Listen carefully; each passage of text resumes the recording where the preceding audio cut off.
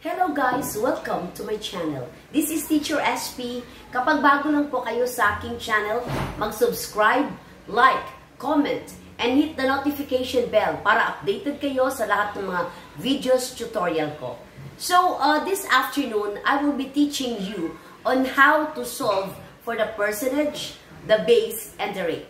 So, I have here on the board, the percentage P is equal to B times R where B is equal to the base, R is equal to the rate. While rate is equal to percentage divided by base, and base is equal to percentage divided by rate. So first of all, I have given you two problems, example of two, how to find the percentage. Paano niyo po ba mahahanap ang percentage? So, I have here on the board, what is 25% of 2,500?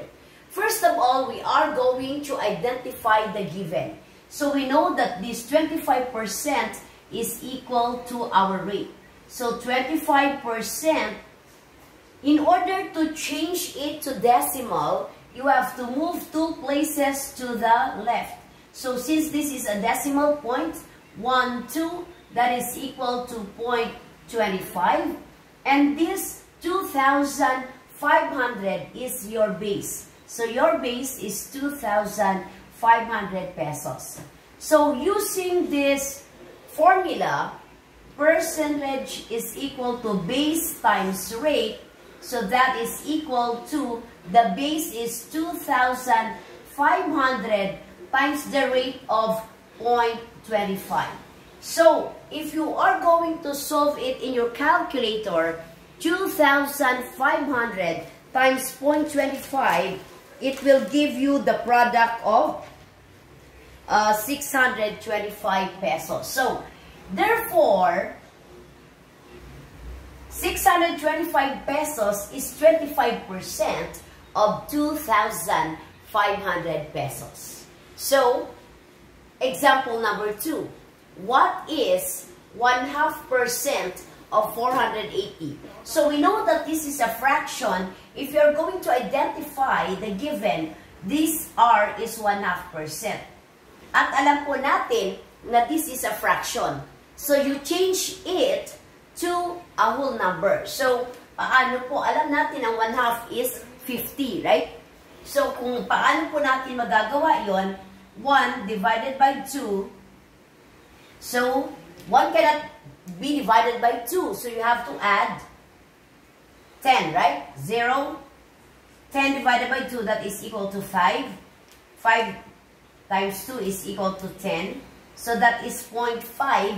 So, when you are going to change it to whole number, magiging 1, 2. So, magiging 50% po ito.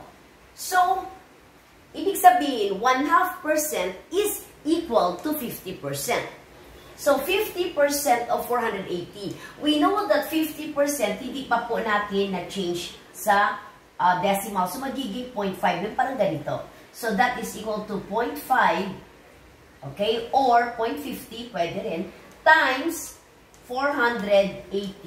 So, if you're going to multiply 0.50 times 480, kalahati ng 480 will give you 240. So therefore, ang kalahati ng 480 is equal to 240. This is the process on how to solve for the percentage. Okay? So, next example, I will be giving you, next example is how are you going to solve for the base? Paano natin masusolve kapag hinahanap natin ang base. So, ngayon, I'm done already with how to solve for the percentage. Ngayon, sa next example, I'm going to give you on how to solve for the base. Okay, how are you going to solve for the base? So, I will give you an example of this.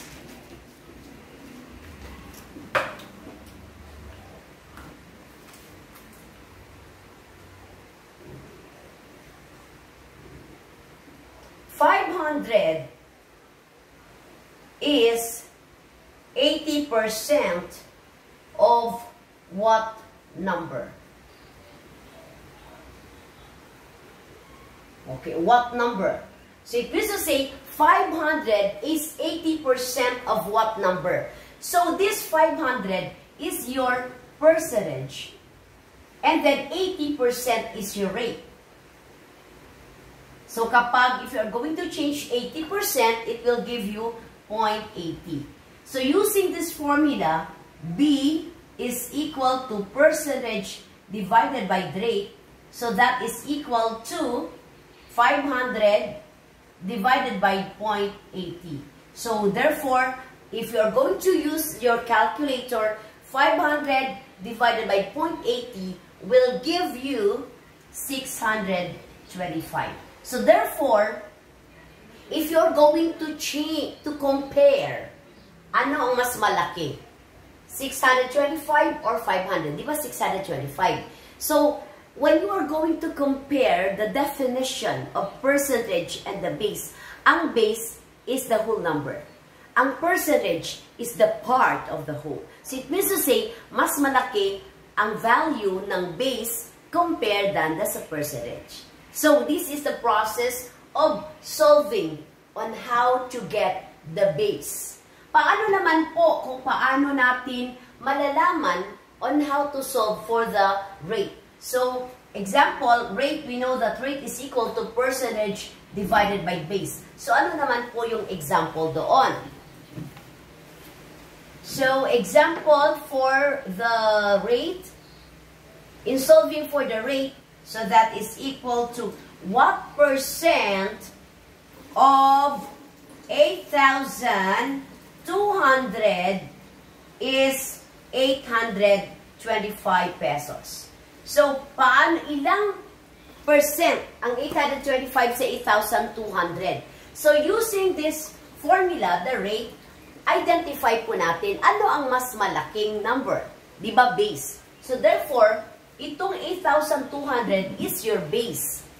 Ang 825 is your percentage. So, using this formula, rate is equal to percentage divided by base. So, percentage natin is equal to 825 divided by base, which is 8,200.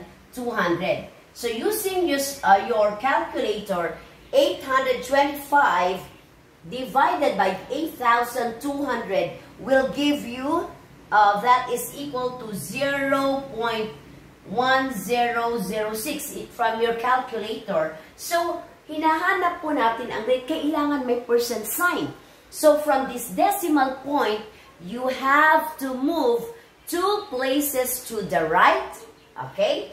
So, this is 1 and 2 will give you 10.06 and after that, you have to affix the percent sign. So, therefore, 10.06% pala ang 825 sa 8,200.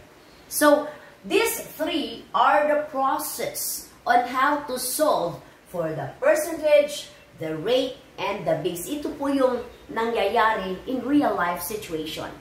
So, sa buhay natin, ginagamit po natin yon. So, you can do it manually, you can use calculator.